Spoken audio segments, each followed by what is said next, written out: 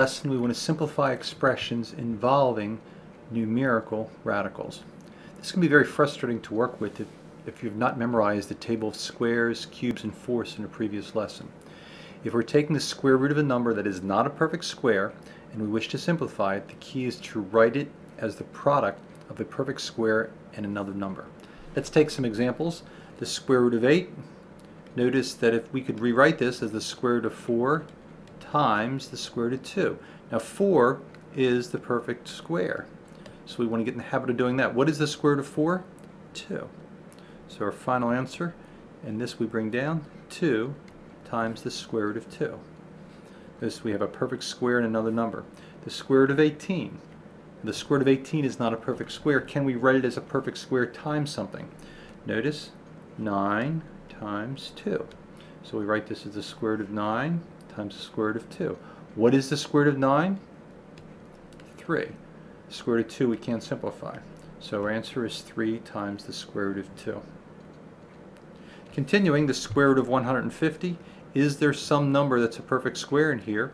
And I believe we can write this as the square root of 25 times the square root of 6. Notice the square root of 25 is 5, so we have 5 times the square root of 6. 48, now you might say 6 times 8 equals 48, but neither 6 or 8 is a perfect square. We always want a perfect square. So how about if we try 4 times 12? Because 4 is a perfect square.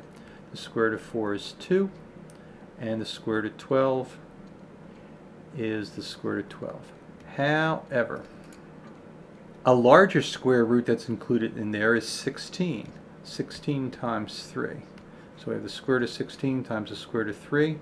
What is the square root of 16? 4 times the square root of 3. So 4 times the square root of 3 is our final answer. We actually could have taken the square root of 12 and broke it into the square root of 4 times the square root of 3. What is the square root of 4? 2. 2 times 2 is 4. 4 times the square root of 3. So either way gets us to the final answer 4 times the square root of 3. The next part simplifying a radical, we cannot have a denominator under the radical sign. In order to get rid of this, we rationalize by multiplying both the numerator and denominator by a key value that makes the denominator a perfect square. Let's begin with example E, the square root of 3 over 100. The square root of 3 we write in the numerator over the square root of 100. Now the square root of 100, to 100 is a perfect square, so we have 10. So our final answer is the square root of 3 over 100. Notice the denominator does not on square root sign. How about if we take the square root of 1 half? We can write the square root of 1 over the square root of 2. Notice we have a square root in the denominator. So if we multiply the numerator and denominator by the square root of 2, and the reason we're multiplying by the square root of 2 is 2 times 2 is 4 becomes a perfect square. So now we have 1 times 2, we have the square root of 2, divided by the square root of 2 times 2 is 4, but the square root of 4 is 2. Notice our final answer does not have a square root in the denominator. It's okay, okay to have one in the numerator, but not in the denominator. So now in this case, the square root of 3 over the square root of, we can write this as the square root of 3 over the square root of 5.